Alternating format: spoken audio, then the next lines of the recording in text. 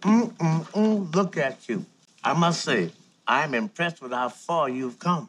Well, you burn a few thousand cupcakes, you're bound to get better. Not just the cupcakes, Max. Look how far you've come. When I think of that girl who came in there just looking a goodbye, hey, and check you out now. Big fancy meeting in Manhattan. Lordy Lord, It's only a meeting, Earl. maybe.